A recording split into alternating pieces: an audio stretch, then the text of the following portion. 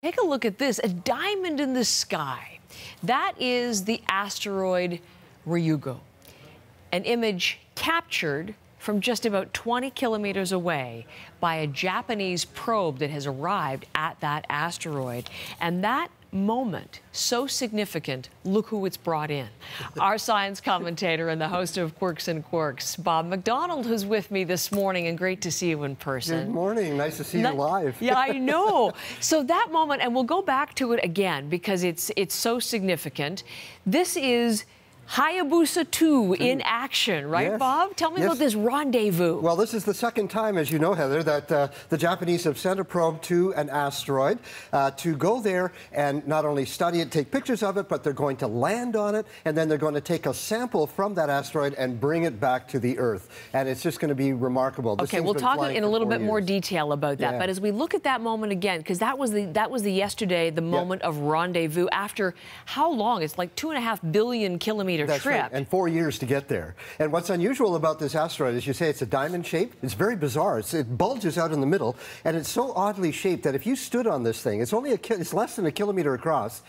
Gravity does not always point straight down because it bulges out in the center sometimes. So if you were up near the top, uh, sort of halfway down that, that slope, uh, gravity would actually fall towards the, uh, an angle, and that makes it tricky because they want to touch down. They want to survey this thing. They're going to land on that? Yeah, they're going to put three little probes down onto it and really surface. But if you're going to go down, you're going to fall very, very slowly. If you were to stand on this asteroid, mm -hmm. you would have almost no weight. You'd weigh about the, the amount of the ink in your pen. So you would fly if you want to go anywhere. So they're going to take these little robotic rovers, they're calling them, but you notice they just look like boxes. They don't have any wheels on them. Right. They're going to land on the surface. And then inside, they have a camera, they have instruments that can analyze the soil, what the asteroid is made of, but there's also a lever in there that has a weight on it. And this, this lever just pops up. Here, you'll see it go. And when it pops up, the whole thing just jumps into the air.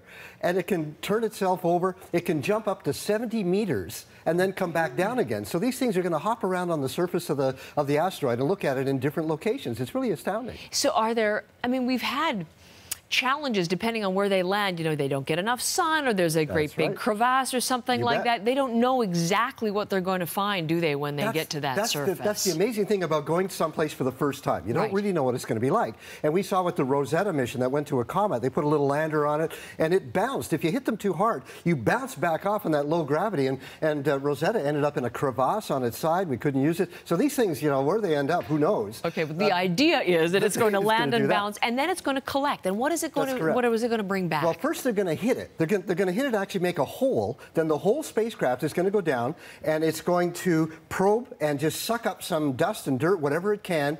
And then there, they just made a, a hole on it. They, they, want to sample it from the inside hmm. and see what's going on in there. And then they're going to bring these samples back to the Earth so we can really analyze the asteroid and find out what it's like. But they're just going to kiss it. Just going to come down, just touch it for a second, go see what they can get, and then come back home. So it's really quite remarkable, and they'll be home at the end of 2020.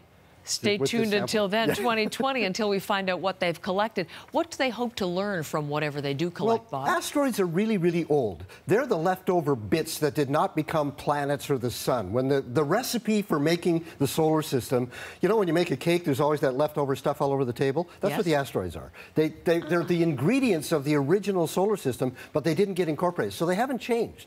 So in looking at asteroids or comets, we're looking back in time. We're looking at our own history. How did the solar system come together? What was that original chemistry that made us? Because since then, the Earth has changed. The Earth is volcanoes, and we're evolving, but the asteroids didn't. So it's kind of looking back in time. That's why they're so fascinating. Bob, thank you very much. As we uh, look at Hayabusa in action there, arriving at the asteroid, and we'll watch that for the next couple of years. I'll couple see you in 2020 as we uh, 18 learn. months, they'll okay, be there 18, 18 months. months. Okay. Bob, thanks so much. Always Final show of Quirks and Quarks this right. weekend on CBC Radio 1, and you have a great summer. You too, Heather. Thanks, thanks. so much, Bob McDonald.